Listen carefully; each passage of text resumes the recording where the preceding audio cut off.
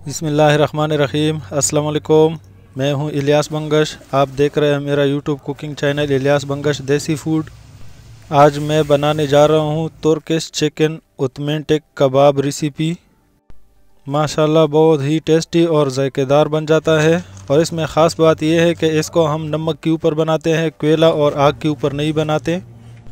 तो चलो चलते हैं वीडियो की तरफ़।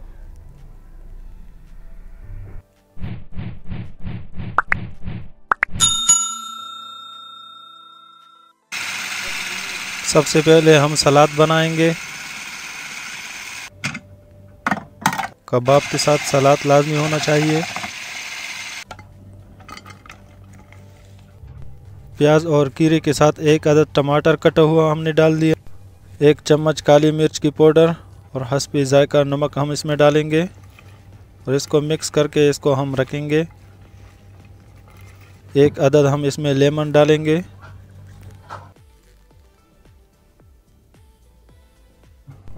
एक अदद प्याज और एक अदद शिमला मिर्च, इसको हम ब्लेंड करेंगे।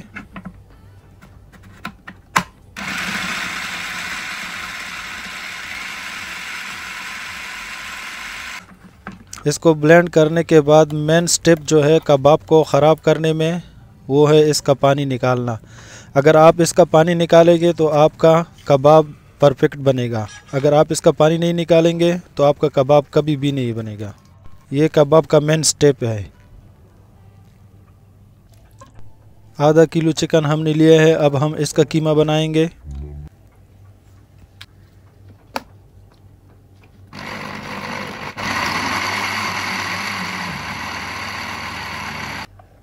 और अब हम इसको इसके साथ मिलकर इसको दोबारा ब्लेंड करेंगे। छः अदद लहसुन के जवे डालेंगे। थोड़ा सा अदरक डालेंगे। तकरीबन तीन टेबलस्पून हरी धनिया डालेंगे। एक चम्मच गरम मसाला, एक चम्मच ज़ीरा, एक चम्मच सूखा धनिया की पाउडर, एक चम्मच कुटी हुई लाल मिर्च, एक चम्मच घरेलू मसाला, हसब का नमक और तकरीबन चार चम्मच इसमें हम कुकिंग ऑयल डालेंगे। देसी घी भी आप डाल सकते हैं। और इसको अच्छी तरीके से अब ब्लेंड करना है।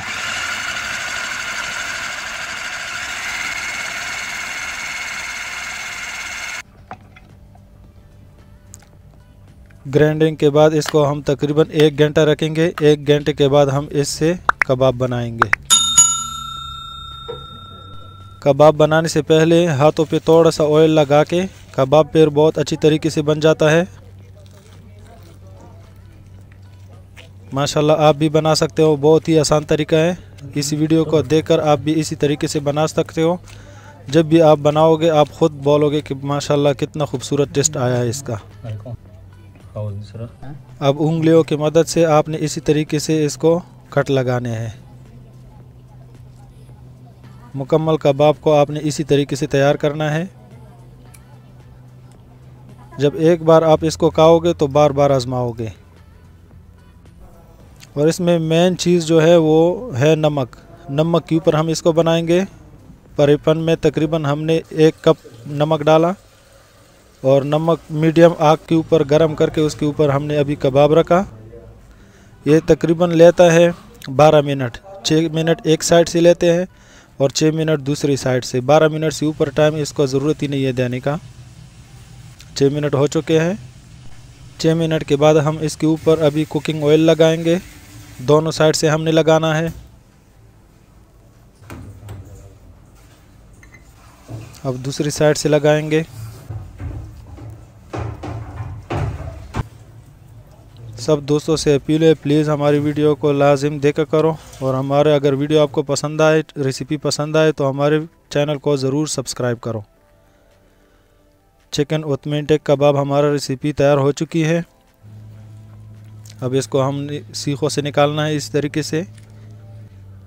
माशाल्लाह, आप देख सकते हैं कितना नरम और जूसी बन चुका है हमारा चिकन कबाब रेसिपी माशाल्लाह, बहुत इजी है। आप एक बार ज़रूर इसका ट्राई करें। आप इसी तरीके से आप इसका रोल भी बना सकते हैं।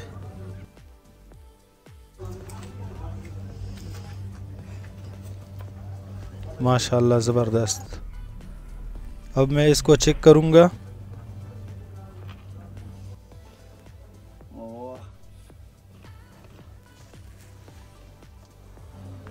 बहुत ज़बरदस्त, बहुत अच्छी क्वालिटी के और बहुत जायकेदार हमारा कबाब तैयार हो चुकी है। आप सबसे रिक्वेस्ट है कि हमारे चैनल को विज़िट करो और उसके बाद अगर आपको हमारा वीडियो पसंद आए तो प्लीज़ हमारे चैनल को ज़रूर सब्सक्राइब करो। थैंक यू सो मच हर नई वीडियो के लिए हमारे चैनल को सब्सक्राइब करो, कि ताकि हमारा हर नया वीडियो आप तक पहुँच जाए।